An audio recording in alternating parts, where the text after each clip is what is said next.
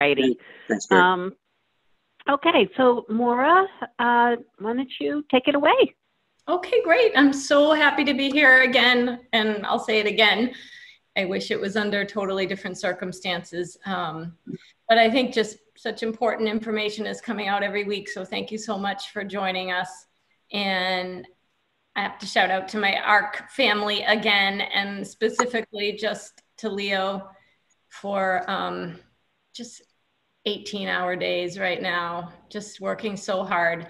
Um, I hope his wife is getting him to rest a little bit in between, but there's just seems to be such a such a wide range of issues that um, we we need to be jumping into. So so my dog's gonna bark, of course.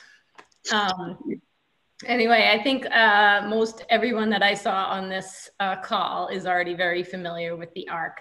But I just wanted to make sure everybody knows that um, we want you to stay connected to us right now because we are we do have a direct voice to Executive Office of Health and Human Services, to Mass Health, and we have this wonderful relationship um, with our national organization who is, is making huge strides for us on a federal level.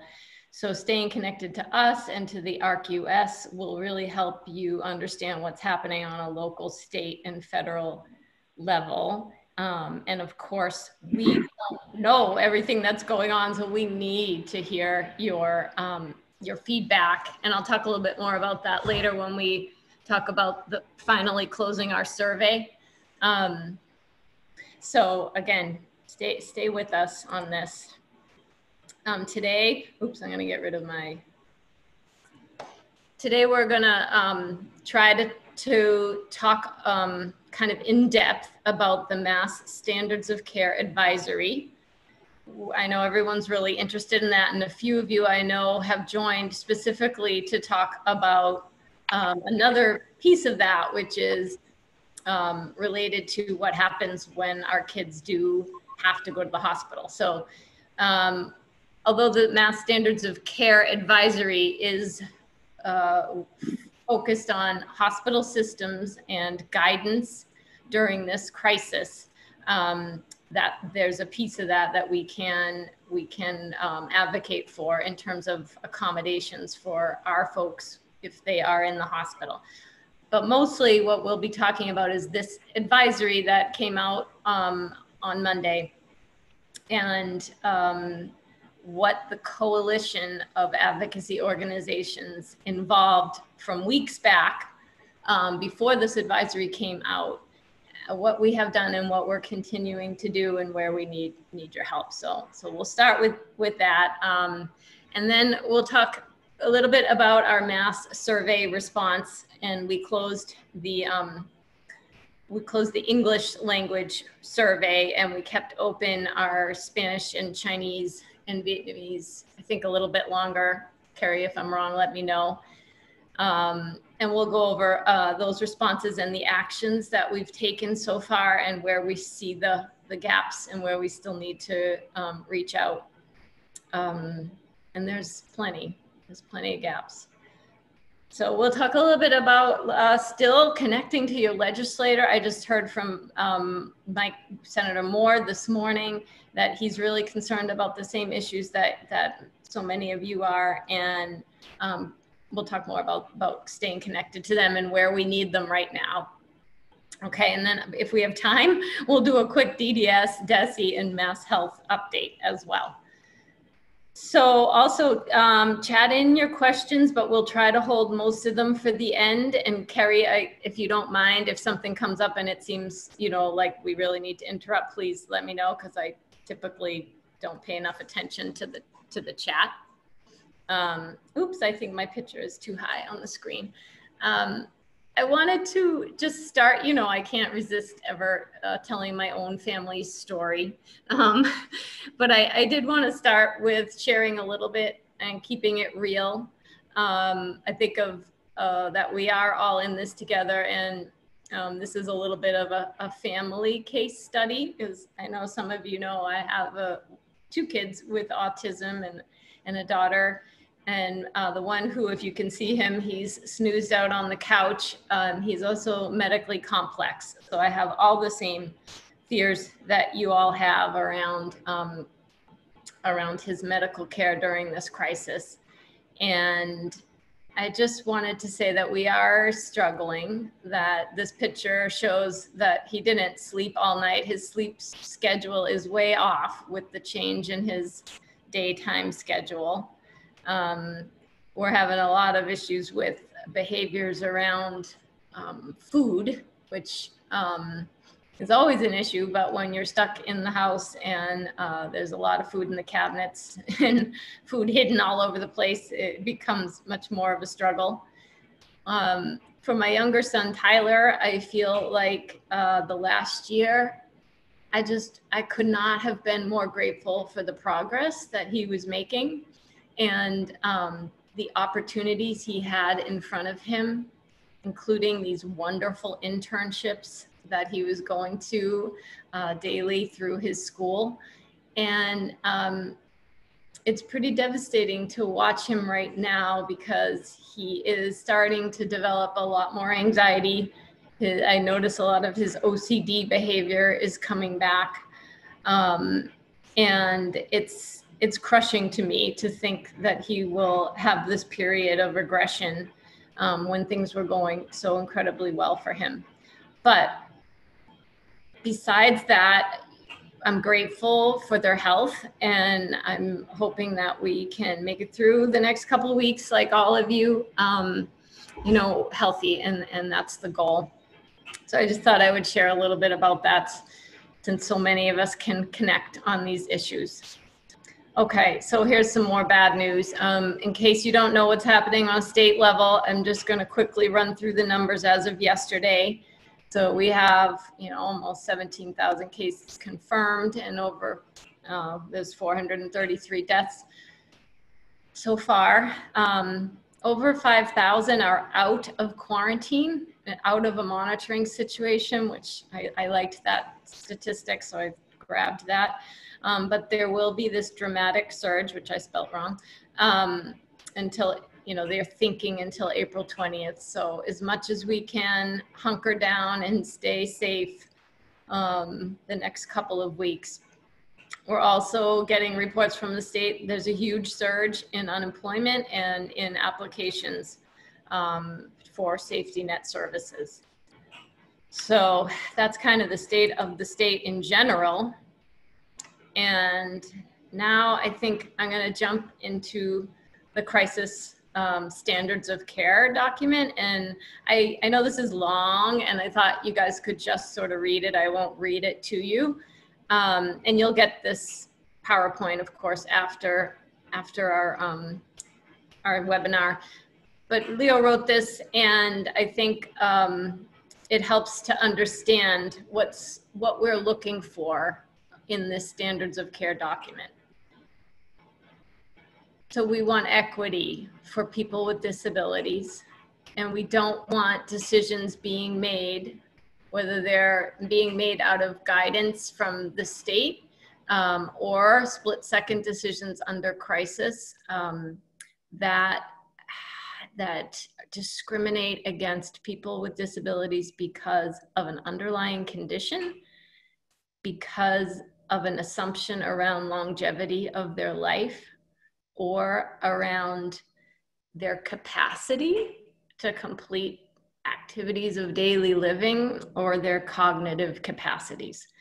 So these are our, our greatest concerns that need to be clarified, um, not only in the crisis for standards of care statement or advisory, but really out to all the hospital systems. Um, with with some sort of training on how unconscious bias can truly um, make a difference in assessment and treatment of our loved ones. So I wanted to make sure you guys knew the history of, of this situation. So, um, you know, weeks ago, we started seeing th that um, states around the country were putting out advisories to their hospital systems And um, a couple of those states were really bold in terms of what they were saying, including Alabama, who very particularly um, wrote that people with intellectual and developmental disabilities you know, should be deprioritized for, for ventilators and, and other equipment and treatment. Um, so 18 organizations came together. There were letters written um, to HHS, the governor, and out came the um, Office of Civil Rights statement, which was really helpful because we could use that in our advocacy as well. Um, and we also wrote to the Mass Hospital Associations as well. So you can find some of our letters there. I put the links in, um, and these are coalition letters. Uh, what we are in the process of doing now, since on April 7th, the Massachusetts guidance came out, which we're talking about the standards, uh, the crisis standards of care. Um, we're in the process of working with a smaller number of organizations on a statement to go directly to the Attorney General and to the Secretary of Health and Human Services uh, today.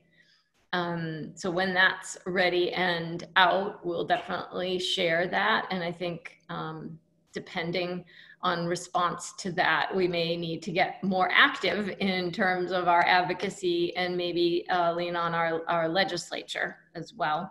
We have been keeping our legislate our key people in the legislature informed, including um, the chairs of children, families, and persons with disabilities um, thinking that we, you know, we will need them to, to jump in at some point.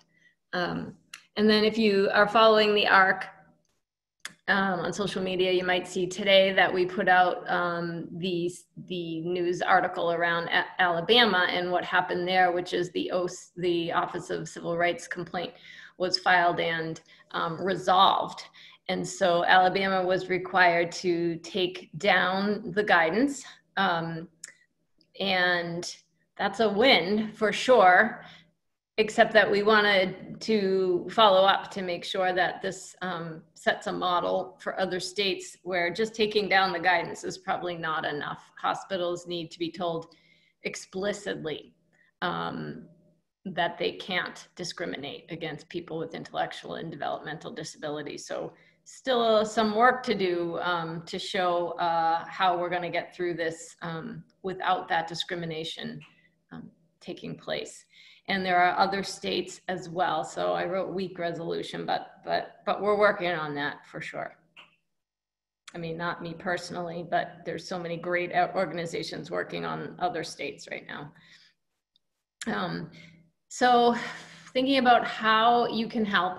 Um, so at this time, I'd say the advisory is at a, a legal level. Um, we are working on influencing leaders to change, to actually change language, to reissue the advisory, and to ensure equity for people with IDD. Um, however, reaching out to your legislator with some facts will arm them when and if we do need them to jump in. And um, so some of the facts that you might want to communicate to your legislator um, is that people with underlying medical conditions should not be deprioritized, that long term life expectancy should not be used to determine the worth of access to care, the worth of someone's access to care. Um, and triage assessment tools should not look at cognitive capacity or someone's ability to complete activities of daily living. Um, and I think here I must have put the OCR bulletin, so um, you can check that out as well. So those are, I mean, there's eight points that we are reaching out to the Attorney General and HHS on, but I just kind of took the top three there. Um, and honestly, you know, if we can get our top priorities to be addressed, I think I think we'll feel like that's a win. Um, okay. So we can come back to that with questions unless Carrie, is anybody having immediate questions? Okay, we can keep going.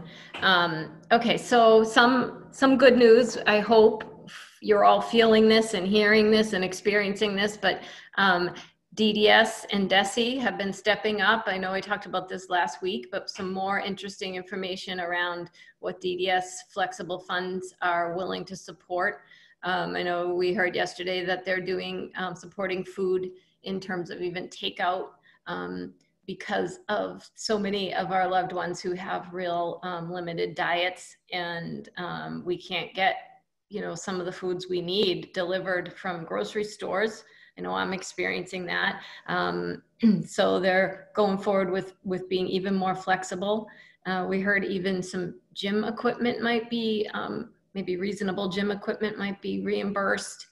Um, so if you haven't reached out, or if you have reached out and you haven't uh, received additional funding or or um, a confirmation around the funding that you need, definitely uh, keep reaching out to your your coordinators um, oh, and then and then sorry with with DESE, I'm hoping that most people are are hearing now, and I think this week was a big week to set up um, actual virtual learning or other types of supports.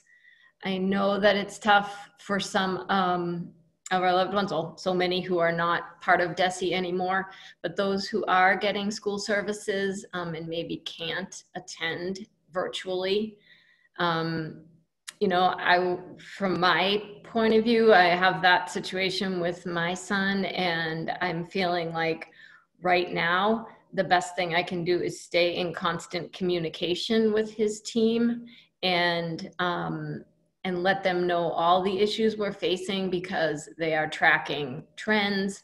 They are able to send visuals, send um, helpful tips to me, and um, you know eventually maybe we'll be able to to get some structure in place and and do some specific things from his IEP but um, but in terms of how DESE is serving your loved one. If you guys can keep letting us know, because when we first put out our survey, there was almost nothing going on with the schools. So now we know uh, that, that services are getting put in place, and we would love to hear a little bit more about your experiences with that and what's going well and what is absolutely not going well.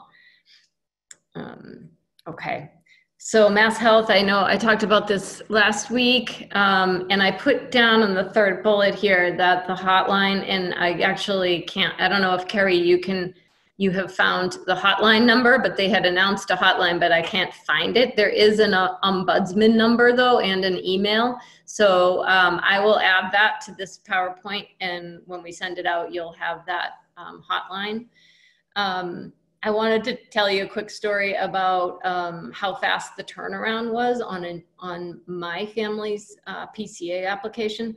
So I dropped my daughter's PCA application in the mail uh, probably Monday, and uh, she received approval for my son's PCA yesterday. So I don't even know how they possibly did it that fast, but um, it was really fast turnaround and so helpful given she is doing just amazing amounts of, of work with my son um, while we're home together. So if you have that option, it's definitely worth doing temporarily um, with any family member that's helping out. Um, and then some more telehealth guidance came out around ABA, PT, OT, and speech. Um, and again, same situations. If you're having problems, please reach out to us um, and let us know. We need your voice. And the last thing we've been advocating for um, pretty consistently is to let guardians be PCAs and also to try to wiggle the waivers at this point in time to allow for prompting and cueing. and that's you know two things that we've been working on for a long time. There are actually bills that are out there in the legislature right now. So fingers crossed and maybe we will do some cq some letters for you guys to send um, around this issue. Seems like something they could do temporarily at least to ease the burden. Um, okay, just going quickly through some of the things that have come out this week on group homes.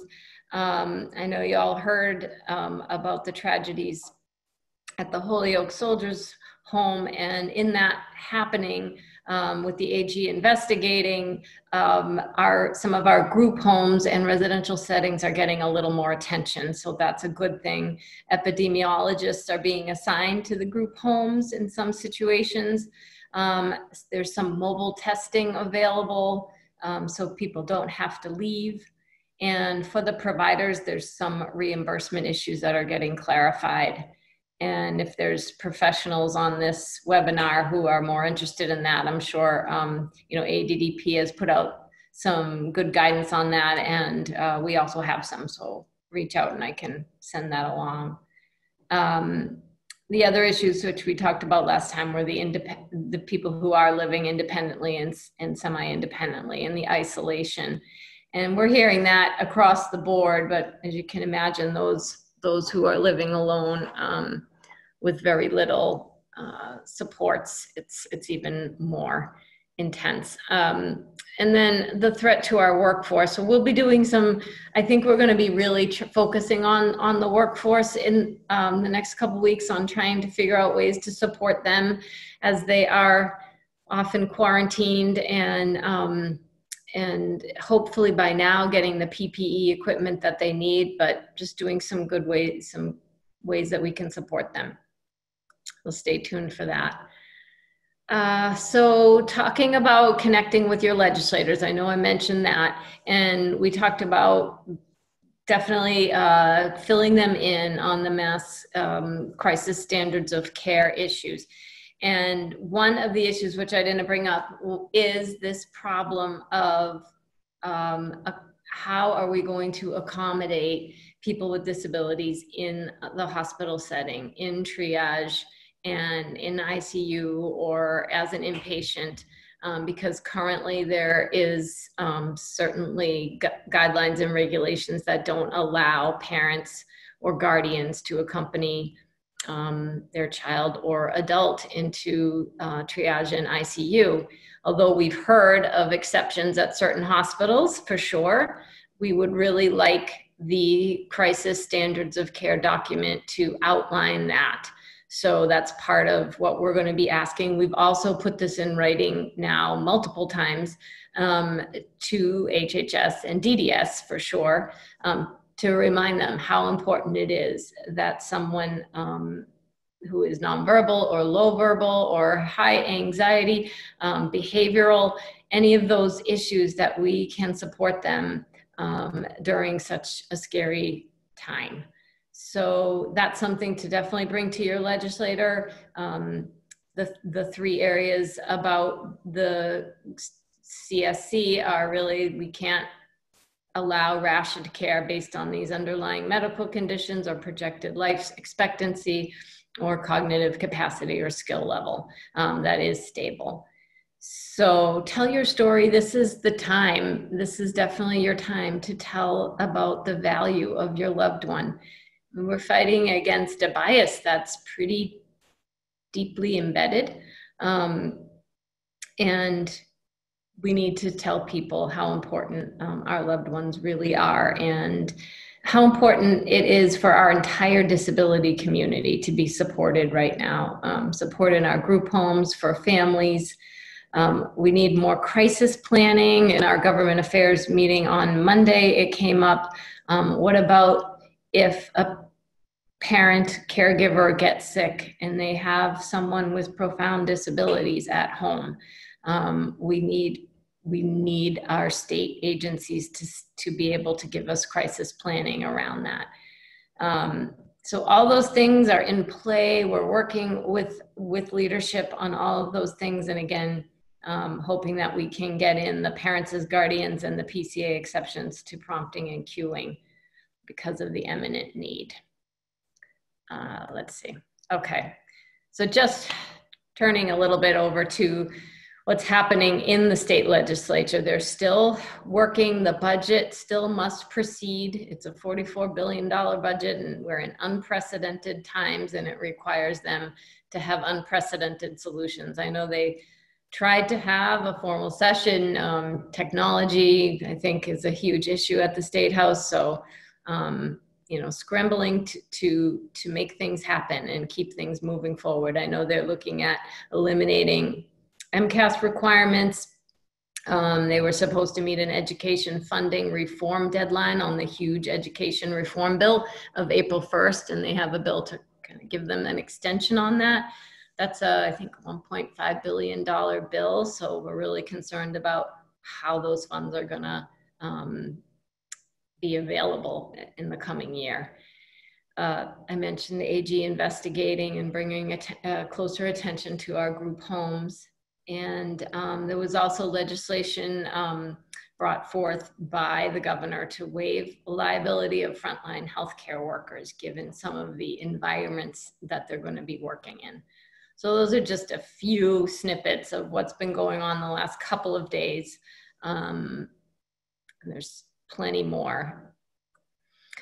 Okay, so the last thing I wanted to talk about is really our um, survey and what's been coming back to us. And I thought it was interesting taking the, the words that are were used most often in the comments section from all of you and, and making the, the word the word puzzle or I don't know what they call this word collage. Um, a lot of people are talking about their mental health, the mental health of their loved ones, um, loneliness, lack of structure. Um, but as we turn and look at um, our uh, survey that we haven't closed yet, but we start to look at for families who speak different languages, um, some of the words that are coming out, and I will certainly do another uh, collage when we close that survey are, are things like uh, food supply and um, poverty and fear.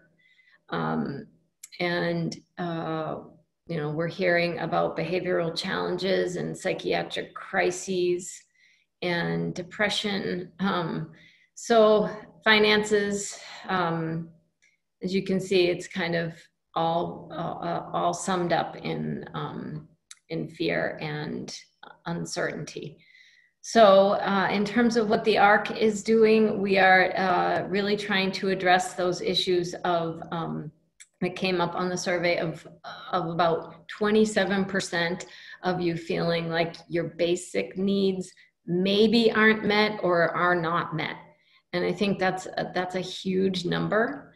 Um, so that tells us really to back up and and make sure that our safety net services are in place and people have access to that and that they feel that um, you know that their food supply is there. Um, and so reaching out to our family support centers and um, making sure they're reaching all families that they can reach.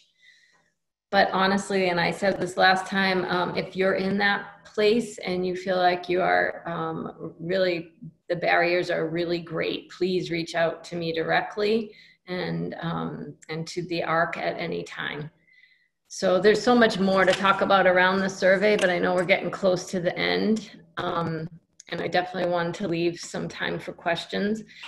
And I just also wanted to say that um, I heard someone say this, and I think that, you know, it's a good reminder that we are all really brave um, in this community. And um, being brave doesn't mean that you uh, don't feel fear it just means that you keep on doing the next right thing. And that's what we're all trying to do. And again, we're all here to do it uh, together. So thank you for connecting today. And um, we can open it up to questions.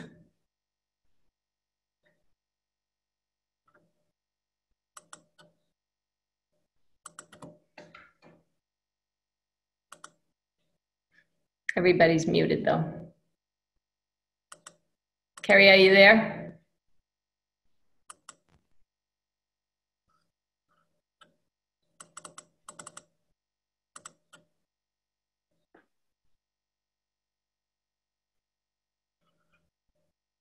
Hmm. Hey, Maura. There you are. Yay. I'm, I'm, I'm unmuted. Um, this is Mary Woodward. How are you? Hi, Mary. nice to see Hanging you. in there. thanks for being here. Oh, thanks. Um, I had a quick question. Um, I'm really concerned because Christopher, my son, is going to turn 18 in July. Um, and so we had started his guardianship process um, in terms of like the evals and all of that stuff. And we're working with an attorney. Yeah. But I know like the, the Middlesex courts are closed. I'm sure all the courts are closed. And I'm just concerned that we don't get his guardianship in place and then he gets sick and he has to go into a hospital and I'm not even his guardian. And it's scaring me to death. I mean, among all the other millions of things that are scaring me to death, but Absolutely. you know, I just I don't even know what to do. Is that something that I should be seriously worried about or Um, so Mary, I would say that currently, even when you have guardianship, there's still concerns around whether you're going to be able to accompany your loved one. This is where we're at right now in terms of trying to advocate for these accommodations for people with disabilities. So I, my feeling is um, everyone's in the same boat right now. okay. And what I've been trying to do, and you know, until we get some sort of resolution or accommodation that we can go out and clearly communicate um, to to all hospital systems, is uh, trying to work with my own medical team um, and get a plan, a really clear plan from them. Um, I got a great plan from Neil's epileptologist yesterday on how we could manage him at home if he did get sick and try to um, he prescribed some medication for to, to really ensure that he wouldn't have a seizure while he was sick and so so trying to get you know connected to to do planning in advance and and my pediatrician has been wonderful around um, uh, where he thinks, you know, the, the best place to go get tested, the best place to go get care, and, you know, maybe not into Boston right now. And, Okay. um, and then the other little piece of good news, I don't know, just hopeful news is, um, you know, it's the younger population, and I, this is more anecdotal from my doctor, but you know, they, they truly are not getting hit so hard. Um, we have what I think yesterday we had 289 adults on ventilators at Mass General and zero children. okay. And then at Children's Hospital, I believe there were only about 12 kids on ventilators yesterday. Um, so I felt like, well, that, you know, of course, our kids are getting older and older and more into that age where they're they're not children anymore. But I think the younger folks are are are um, you know slightly less at risk, and that can make us feel a little bit of relief. But I know there's plenty of us with older folks as well. Yeah. Okay. Thanks. I, I probably will. I hadn't actually reached out to his pediatrician, so that's good advice. Maybe I'll do that. And and we'll let you know. feeling of control. Right, I know, and we'll let you know about what happens with these accommodations that we're requesting to HHS and DDS and, um, and through the standards of care document. okay. Awesome. Thank you. Hey, Maura, this is Carrie. Sorry, I had some problems unmuting myself, but I'm, I, I think you can hear me now. Um, Yeah. Melissa had a question. Um, is the response to the CSC going to include reallocating personal equipment? And can we please have a triage officer for disability? Yeah, so I, I like both of those ideas. Right now, the standards of care does not talk about uh, PPE equipment. It's, the document is specifically around crisis intervention for hospitals during this pandemic. Um, and I believe that the PPE is probably just in a whole nother, you know, set of. Yeah, I was referring more to the ventilators. I've heard of them taking ventilators from individuals or talking about that in other states. Somebody's personal ventilator goes into Yeah. the hospital, like reallocating that. That that that is in there. Okay, so yeah, sorry. So I thought you meant PPE um, masks. I don't know. why I think of that. But yeah, so there is a section, and we are addressing it. It's one of the eight topics I was talking about um, around um, reallocation of ventilators. Definitely, definitely. Okay, thanks. And um, Beth had a, a, a question. Um, is DDS learning from the devastating experiences at group homes in New York City? I guess there was an article in the New York Times about this. Yeah. You know, I, I think so. I, I mentioned that we uh, have started to see epidemiologists coming out. We started to see mobile testing coming out, um, PPE equipment getting out to group home. Uh, you know, the fact that they were um, deemed essential uh, allowed us to get that equipment out faster. Um, but everything's happening so quickly as we as we move into this surge. I think we can only. I think our provider agencies are doing a great job trying to uh, uh, advocate for their staff, and um, you know, yeah, I think we're we're in a place where we could always do more for those for those organizations right now and for our our loved ones. Okay, um, thank you. All righty. Um, let's see, I'm going down the list of the questions. Um, Carrie, this Carol is Holland, yeah. Oh, ca- does, does Carol Holland want to um, yeah. Unmute is, herself? She is. She's good. Yeah. Sorry, Carol. My le- legal name is Carol, but this is Carrie Howland, Bobby's mom. So, um, my big push is on titer slash antibody testing, and there's been all kinds of talk and articles back and forth. But I know actually personally, I have two family members who tested positive, and- one of them is the scientist at Abbott Labs who's wor- working on the titer tests right now. So I know that they're coming, and I'm asking, can we please prioritize our community first in line because we're the most at risk? And I'm terrified about sending Bobby back to school. Um, we have had no home care for probably six months anyway, um, just for staffing issues, and now it's nothing. And um, it's it's absolutely available. Um, there are non-scientists weighing in on whether or not it'll be effective.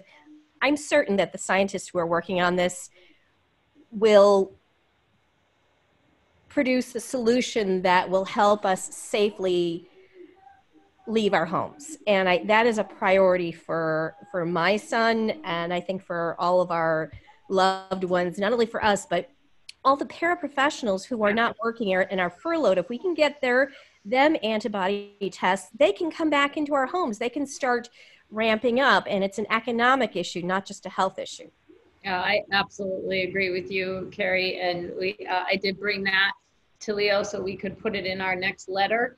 Um, I think we're trying to prioritize what goes out to the secretary and what goes out to DDS, um, kind of by what flame is going currently. But I think that is that is hugely important. And if there is capacity to do titer testing, it will be amazing for group homes and for in-home in-home help. Um, so it's on my list. I also have on my list the, the triage officer um, and to look into the guardianship piece um, around people who are in the process. Okay, thank you. Um, I know Christine did uh, comment that she would advise, um, I believe it was Nancy who had um, the question about guardianship. Um, there, there are temporary guard processes for crisis, so um, courts may be processing this um, remotely. Um, Nancy had a comment or, or a question. Are there any hospitals in Massachusetts so far that have been identified on showing discrimination against those with disabilities being admitted? Yeah, not that we have heard. Um, you know, it certainly could be happening, um, but at this point, I don't think anyone is over capacity. I think we're preparing for that. Um, I know, you know, they're starting, obviously all the hospitals are, are taking over space in other areas besides the ICU to accommodate.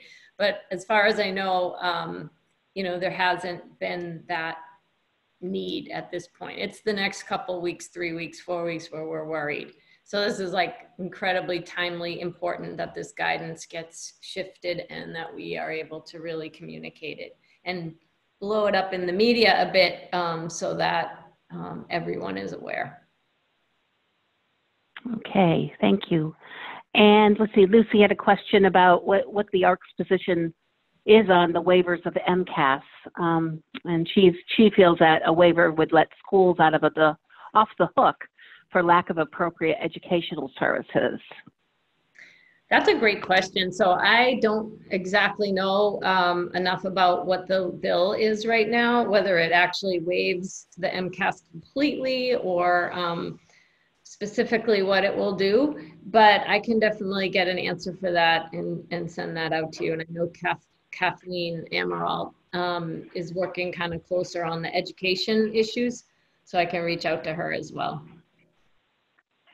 Okay, and uh, Rebecca uh, shared that the Guardianship Academy has a website and there's an Ask the Expert portal where questions can be submitted.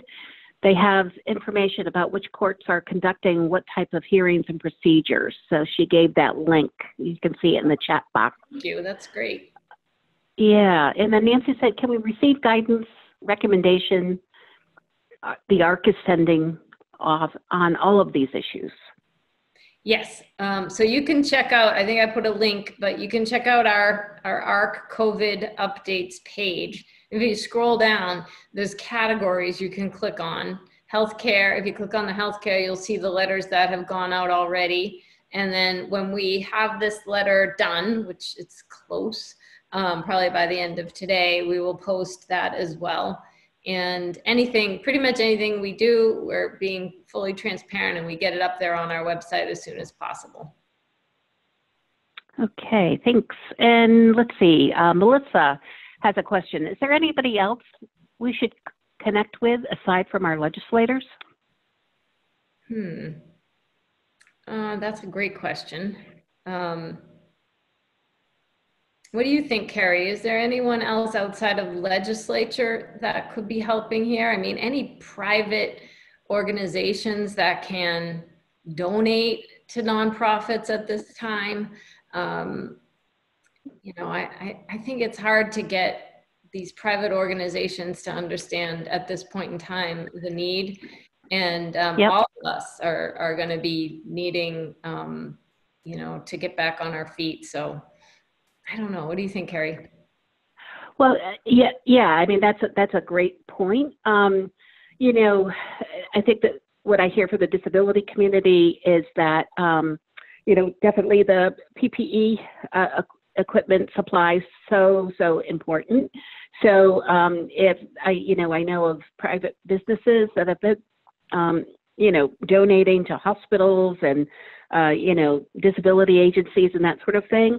Um, I just got off the phone call with the uh, family support providers of the affiliates of the ARC, and they were talking about how many people are really needing access to um, groceries and um, fund money. So uh, there was a, a, donation to one of the affiliates of a thousand dollars, and then went out and got uh, gift cards to grocery shop.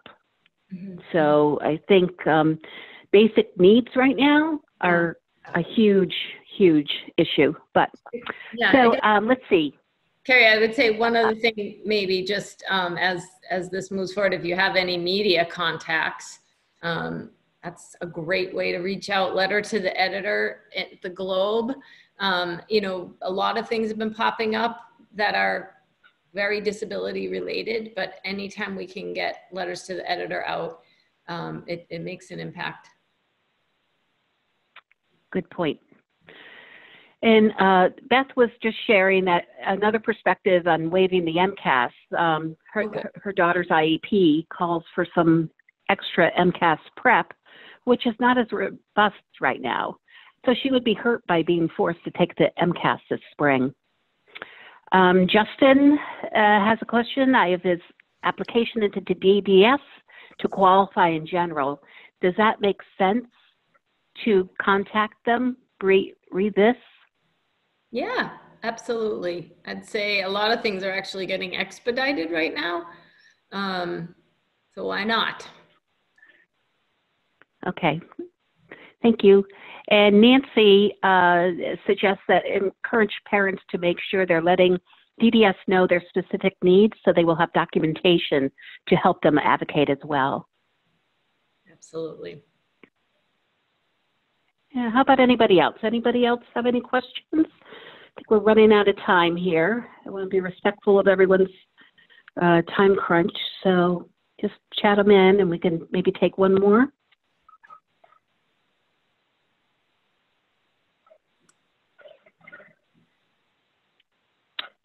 Thank you, everybody. All right. Okay, well, thank you, and thanks, Maura, for uh, a good update on, on what's going on in Massachusetts. So, Yeah. All right. We'll see you next week. Okay, thank you, everyone.